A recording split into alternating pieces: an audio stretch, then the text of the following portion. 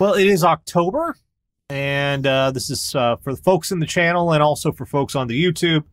Just to let you know, we are doing our annual best of the worst of these sexy costumes. Yes. Now is the time. I know time. Andy already pulled it. I think the sexy handmaid qualifies. Yeah. Well, anyway, no spoilers. Um, Everybody sent it to us. If you have a contestant for the top, one of the worst sexy costumes of the year, by all means, please send that on to us at request at radio.air.com. That'll be October 29th, and it'll be up on YouTube soon after.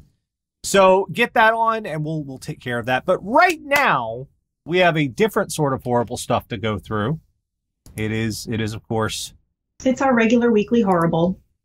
it's becoming less horrible in its own way. It it just it, by basics of of comparison. I mean, I guess, yeah, like compared to the real news, Right? it's less upsetting. Right? So, yeah, Come on, fucking work.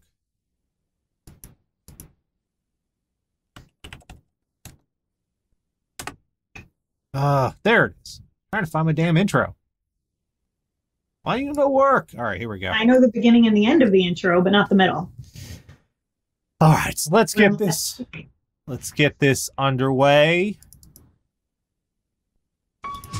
Each week, Catherine, the Radio Dead Air audience, go out in the worldwide interweb, find all sorts of horrible stuff, bring it back here for a little segment we like to call What the Fuck is Wrong with You? And Tara, been doing this for over a decade, close to two, Yeah. and I'm amazed it took this long, but this. Do we actually have a first? So, a horse walks into a bar.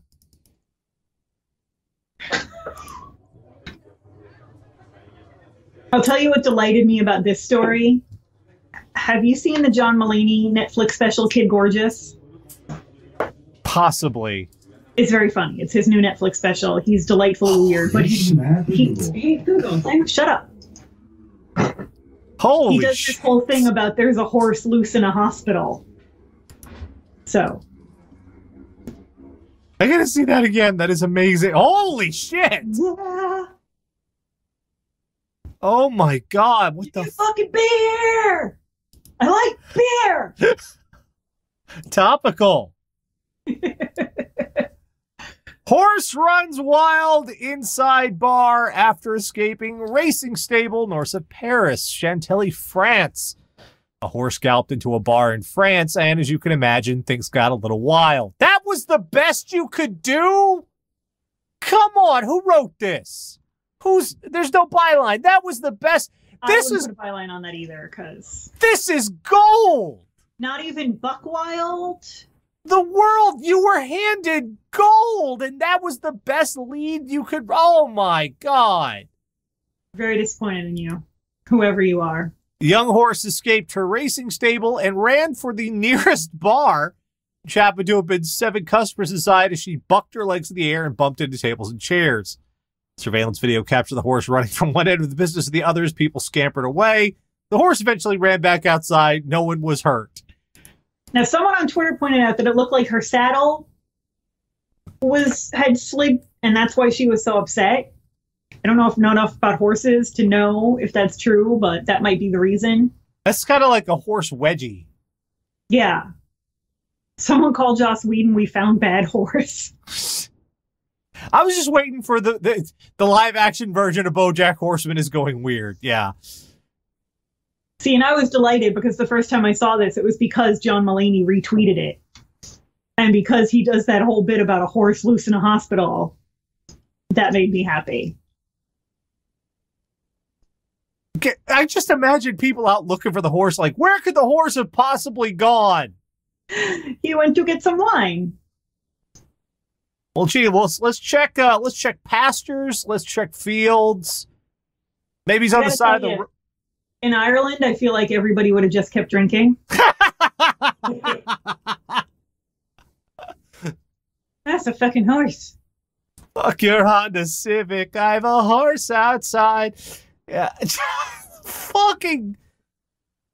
That's not what you expect when you're sitting out for a No, drink. You're just sitting there drinking your feelings. You don't expect Mr. Ed to come barreling through. I those these are the moments in life you have to stop and take stock and like think for yourself is this really happening or have I finally snapped? Or is it time for the bartender to cut me off? Have I had enough? uh, Sacre bleu! It's my terrible French. You're welcome. that poor the, the horse just did, the horse was not there to just, just was not No, fucking around. upset horse. That's not a happy horse. That's not it's like fuck you, fuck this, fuck all of you. what do you mean you don't have Budweiser? Still a better Supreme Court pick. Well, it's because they use hor- horses. All right. Is that song about the Wells Fargo wagon? So uh yeah, it's um I don't go near Chick-fil-A anymore they I've never had Chick Fil A. you didn't miss anything. Don't generally have it up here. I think they yeah. put one in my mall a while ago, but it's not been a thing up here. So th- this is one of those I I'm kind of glad that I don't go if this is the kind of thing that happens at Chick-fil-A. I'm I'm kind of glad I have no reason to go there. Are they fighting? No, they're just fucking with him while he's in the litter box. That's the other new thing they do. He tries to pee and they go and mess with him. Poor Simba. Naked He's in our Mean Girls world.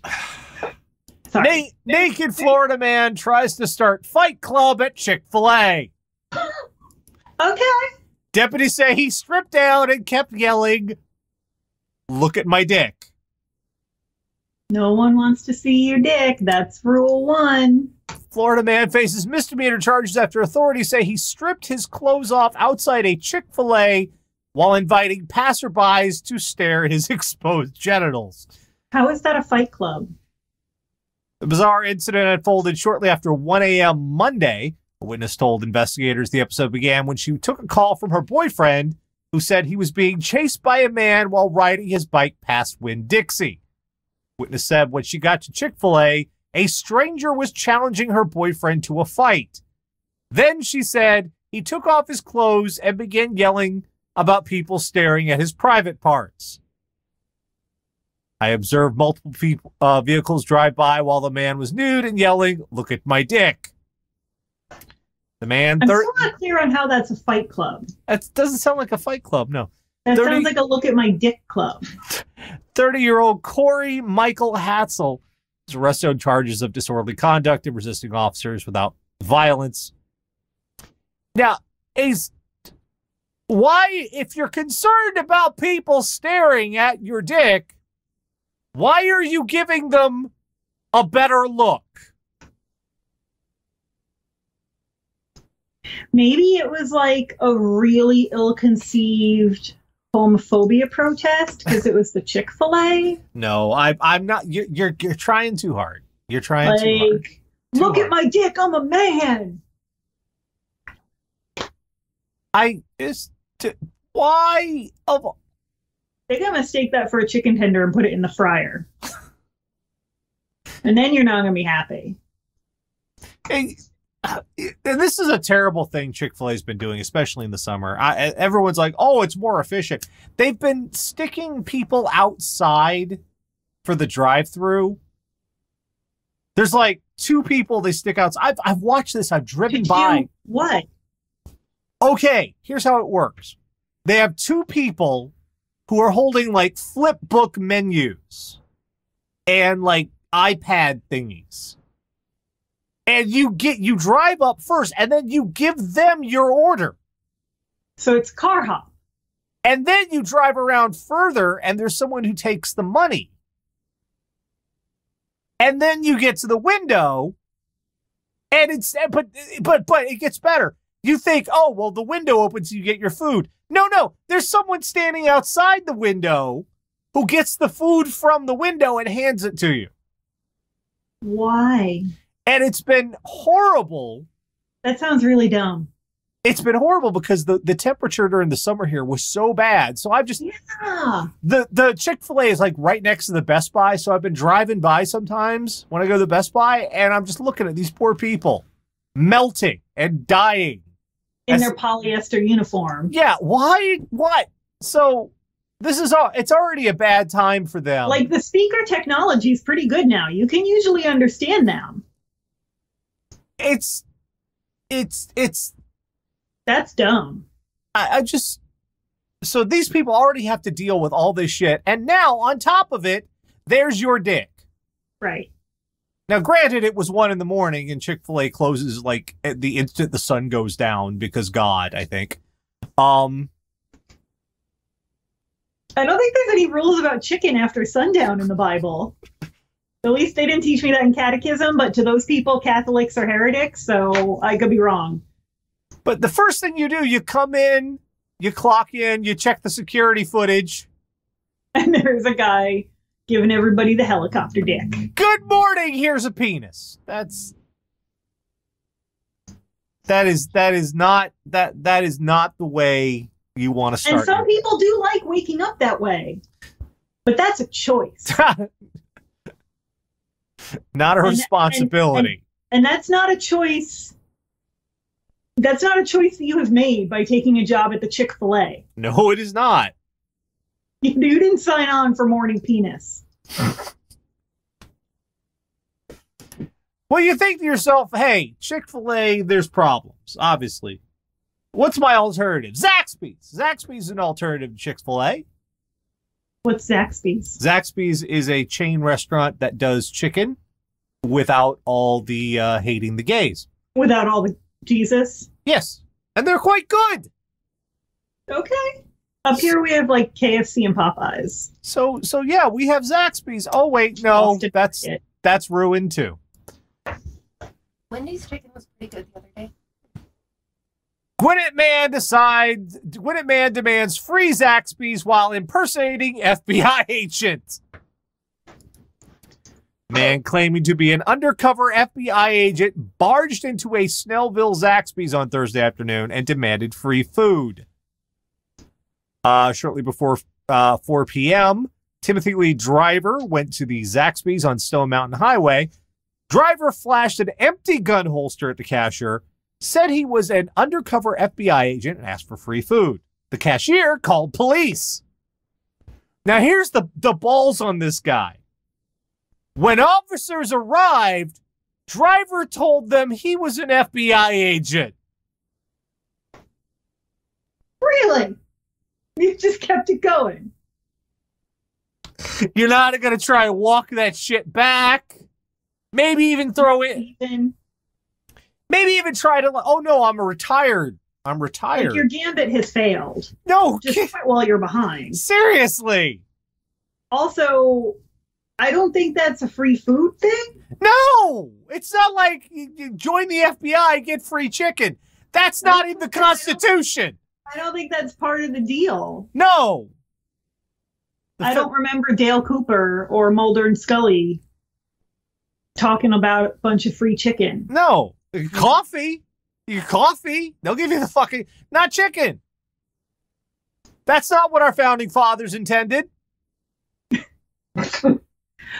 But the FBI didn't come along until well after the founding fathers, if we're being fair.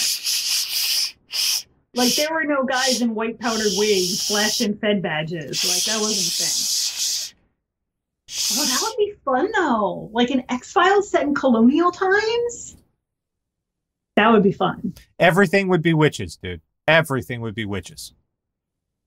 Yes. that would be fun. Driver was arrested. That's basically the Crucible.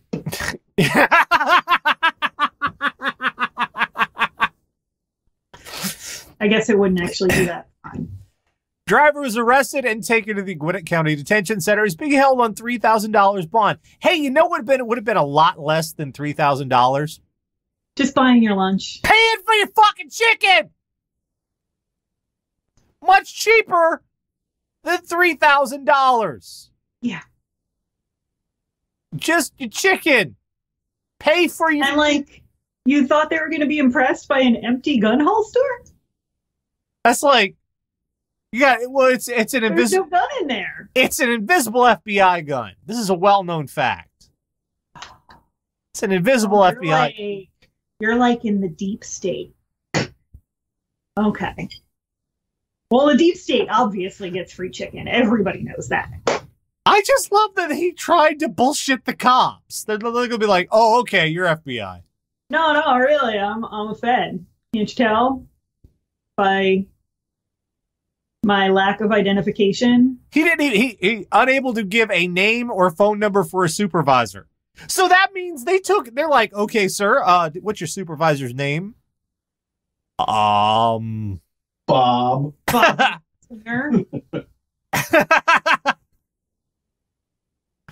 the balls on this guy. Walter Skinner. Oh well. Hey, speaking of the balls on this guy, this is another. Okay, I have run for. Uh, I That could mean literal balls on this show. It could. I have in my I have run for a bus in my day. Like and I didn't catch it because the the bus driver's like, You ain't here, I'm gone, fuck you. I have run for a cab. I've even, and I'm very proud of this, I missed a tube in London. And I, Is that thing to be proud of? yes, because that's Is that that is like an accomplishment? that is a true Londoner experience. I've had that experience in my Okay. However, this is one even I have not attempted. Dublin Airport plane chasing passenger charged. A passenger had been pinned to the ground by police at Dublin Airport after running out onto the terminal toward a plane and shouting for the pilot to wait. Yeah, they're not going to do that. Well, it's Ryanair. They might. Patrick It Kehoe might be like for 20 bucks, we'll wait, bro. Patrick Kehoe, 23, made it to the taxiing Ryanair aircraft before police arrested him. He had been charged with criminal damage to a door lock and granted bail. Ground crew members said he just ran from the building toward the plane. The Irishman was quite determined to make his flight, an eyewitness told Irish broadcaster RTE, adding that he ran toward the plane with his suitcase under his arm. BBC. You know, if you were quite determined to make your flight, you would have shown up on time. but it gets better. BBC News is uh Declan Harvey, uh Declan, uh Declan. Declan Harvey, uh who was at the scene, uh It's BBC News Northern Ireland. Northern. Ireland. Okay, sorry, I don't know. It's Uh, important. It's the whole of the country. when police arrived, there was a scuffle. Mr. Kehoe was pinned to the tarmac. Um, Mr. Kehoe, Say that name. what Kehoe? No, where he's from. I'm not saying it. He's from County Rexford. You didn't County Wexford. Wexford, yes. I I honestly don't even know how to say that. I cannot pronounce this shit. If you can, uh, people on But the video, the Irish tradition of throwing in a whole bunch of letters for free, I'm gonna guess it's probably like Rinska. And I'll ask my cousin. Mr. Kehoe of County Wexford was bought before Dublin District Court. Now listen, it gets better. Um, Mr. Kehoe covered his face with a folder and shouted abuse at waiting journalists as he left the court before swinging his suitcase at the crowd and lowering his trousers to expose his backside, So he covered his face, but not his ass. which showed them his butt. Okay. I don't think that's going to help your case. Mm-mm. If you're trying to, de- to determine to the judge that this was maybe just a lapse of judgment that you were frustrated, stressed, you, important flight, pictures of your ass on the BBC because you got pissed that you were arrested, Yeah. that's not going to help your case. However, if you want to be on the Supreme Court, Yeah. Move You're- to America. You're fine. You are a perfectly qualified applicant.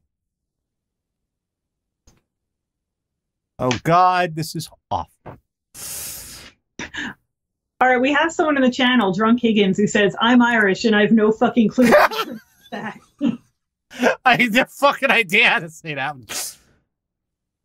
No fucking idea.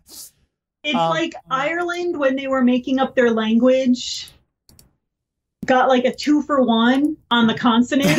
like they got a BOGO on consonants and they had all of them left over. So they just fucking threw some extras in everywhere. They don't make sense. You don't pronounce them. They're there for decoration. I've long maintained that why the Irish have a reputation for drinking is spelling bees. Yeah. Um, let's move on to Colorado. Hey, pot's legal in Colorado, Colorado Springs. Um, so that's why this story kind of baffles me why this would happen. But it's also one of those cases of, yeah, you fucking deserve that, you fucking idiots. Teens mistakenly steal oregano after smashing van into pot dispensary. Oh, babies. Police are looking for up to four teenagers who they say smashed a stolen van into the front of a pot dispensary and ran off with t shirts and what they thought was marijuana, but it turns out it was just oregano. Quote, Our product is never out, said Kim Casey, the communication manager for Natives Roots, the dispensary it was broken into. But it seems the suspects who drove the van into the store early Wednesday didn't know that. Quote, we have pre rolled joints on display in our packaging and display cases. We do not put actual medicated products in them, so we use oregano to simulate the cannabis. That's clever. I like it. You know they smoked it. it. Well, it's like how you know you go to Subway and they have all those fake sandwiches lined up. Yes. Same principle. You know they smoked it. And you know they're sitting there going, oh man, this is some good shit. Now I want some fucking spaghetti. Oh, I can really feel that. oh, this is, oh no, man, this is, oh, this is such a good high. You know they were, you know these fucking idiots. That's what we call the placebo effect. How could you could smell oregano smells way different than marijuana? Yeah, yeah. I just the fuck were you? talking about the first time I actually smelled marijuana? And everybody laughed at me because I thought a skunk got into the Dave Yes. Concert. It wasn't oregano. And what's even what's what's making me even more nuts is this is Colorado. Yeah. There are you throw a rock, you'll find a place you can walk into and legally purchase. Well, no, this was one of them. They just didn't want to pay. Why not? It's not. It's fucking legal. but they didn't want to pay. You ain't got ten bucks for a fucking joint. It's the principle of the thing. Well, then, god damn it, go grow your own. You can do that now. That's legal too. There's a reason they call it weed. Find a make a hole in your backyard, dump it in, come back in a week. Well, all right, maybe not a week, but still,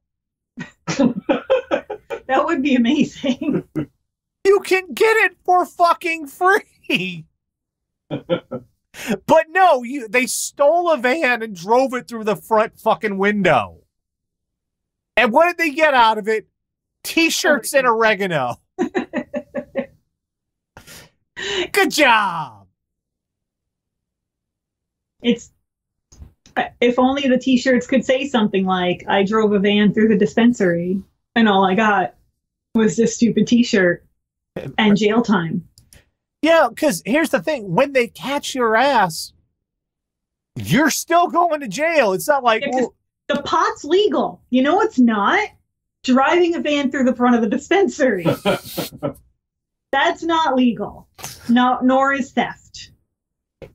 uh so yeah, last one tonight. These all right, these gender reveal parties are just I, I- don't get it. I don't get it either. Especially, it's a weird thing to me that we've come together. These two things have come together really weirdly, where like increasingly as a society, we're trying to get away from traditional mm-hmm. gender roles Yeah. and embrace gender fluidity, and you know, but at the same time. There's been this rise in this gender reveal party thing. And I find that a weird juxtaposition of trends that I can't make sense of. but Well, also, I think it's stupid and a dumb reason to spend a lot of money and make people buy you presents. Well, this party, congratulations, it's a felony. Oh, yeah. Border agent starts 47,000 acre wildfire Yeah. by shooting exploding target at gender reveal party. Like, do you have to be that extra? Just release balloons or cut a cake or something. Like, you're having a baby. Literally, everybody in the history of the human race has been a baby that somebody had. It's not that hard to have a baby. Almost any human can do it. So, like, let's dial it the fuck back. Tucson, Arizona Border Patrol agent must pay $220,000 in fines after starting last year's sawmill fire during a gender reveal party. Dennis Dickey, 37, who pled guilty to misdemeanor federal charge Friday, is set for five years probation and has agreed to pay $220,000 in install- installments after he shot a target containing the explosive substance. Tannerite. Tannerite, yes. He shot a fucking Tannerite target Yeah, you can buy those. at a gender reveal party. Dan, That's dumb. why don't you use your expertise and explain to our audience why that's bad? Because it's highly fucking flammable, explosive. Does it have anything to do with a newborn baby? No. That's just somebody who wanted to blow some Is it shit a up. traditional baby gift? Dickey Although is Atlanta, when I was in Atlanta, the gun the gun store I went to, they they would pack pumpkins with tannerite, and you could shoot pumpkins on on Thanksgiving. What is wrong with the South? what is wrong with the American South? Are you guys okay? no, because fried food. we're naked at the Chick fil A. We're not okay. Got your dicks out in Chick Fil A, Like shooting what? tannerite. What is wrong down there? What what happened to you? Dickey and his wife were holding a gender reveal party last year when he shot a quote high velocity firearm at a target intended to explode either blue or pink powder. But instead of simply revealing the gender of their baby, the fire immediately caught the dry conditions and began spreading. The explosive gender reveal party stunt was recorded by several attendees. Look at that shit! So is it a girl or a boy? They don't say. The article doesn't. That's what it is. Congratulations! It's a fire element. It's a Balrog. We're having a Balrog. Yay! Oh my! Look at that! But that forty-seven thousand acres, and I'm I'm like sitting on my my uh, yard is I think what half a quarter acre. It's not that. It's it's. I'm just thinking. All right, take the house where I live and the yard, and let's do that about two hundred thousand times. All of it on fire. Because you just had to be hella extra telling everybody what's coming out of your uterus. Why? Fucking And you're just going to name it Kaylin Jackson Madison with a bunch of Y's and X's anyway, no matter what gender it is. or Trig. They'll just name it Trig. I Like, white people, American names? are becoming as bad as the Irish language for all the extra fucking letters we're throwing in. Just, just saying, it's starting to look a little like Welsh, and I think we should stop it. I, I, why? I, I don't understand why they thought this. would- Why? Well, it did fly. Oh, it flew. What? Why you just just send cards? Get a Yeah, I don't- balloon. I don't get the whole gender reveal party. I don't. I don't care. No, that, that's the other thing. Look, your friends really don't give a shit. Let me know when there is a living person that I can say is cute, even though it looks like Winston Churchill for the first three months. Your I'll happily lie and say your kid is cute and doesn't look like Winston Churchill because that's the right thing to do. Your friends, hopefully, hopefully your friends don't care about your baby's genitalia. Hopefully. Yeah. In fact, you should be encouraged if they don't. That should be good. That's that's a good friend. Just God. Why explos why explosives? You tell me. I don't know. I don't live in the fucking South. Well, this was Arizona. I don't think that counts as the South. No, No. Arizona's worse. That's It is. West. Yeah. There, I, I feel like there it's just so fucking hot all the time that everybody goes a little crazy. They have haboobs. What? A haboob What's a haboob? as a big ass goddamn sandstorm. Oh, okay. I knew it was something, but I forgot what that word meant. Some one day you wake up and you have a haboob on the forecast, and it's a wall of sand is coming for your city. Have a That nice day. So they live on the Fury Road. Kinda. Yeah. 'Cause that would kind of explain this. That would. I- it's Immortan Joe's baby. I, I guess the first thing we learned to light tonight is no one really gives a shit about what what gender your child is going to be, or you presume them to be, or whatever. Like I don't want to be rude, Just but literally, guys, procreation not that special. no. Not not tough to do. Same thing with weddings. A lot of people do it. We've learned if you live in a place where where pot is legal, just buy the pot. Yeah, Don't what? Just just pot buy. being legal doesn't make theft legal. No. those don't, those don't go together. We've learned that if you try to chase the plane, it's not going to work. You You're have, not gonna catch it. no, they, they, they're not going to go. Oh, I'm sorry. Let me interrupt the fucking flight plan. Right. Stop in the middle of the fucking runway where there's three planes backed up behind my ass, and let down a. understand.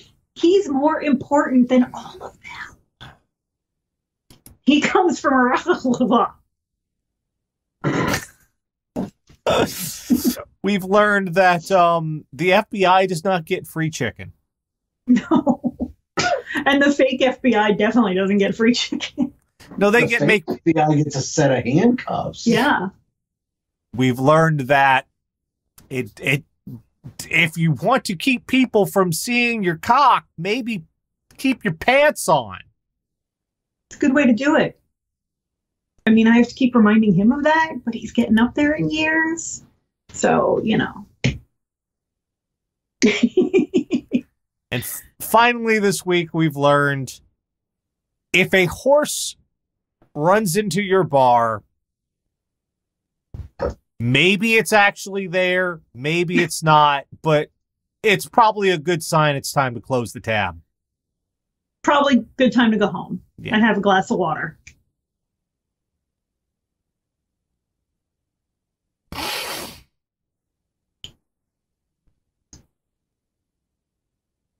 Fucking horse!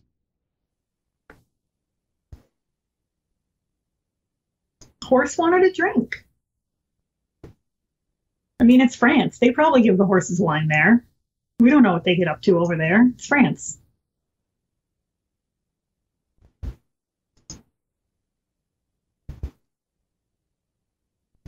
They all have those cone heads. Now there's a joke half the audience won't get. You don't get it either, do you? I do. That's just that's that is Cut. wow. They're all gonna think I'm just being racist against the French, but I'm not. It's it's thing. Remember when Dan Aykroyd was funny?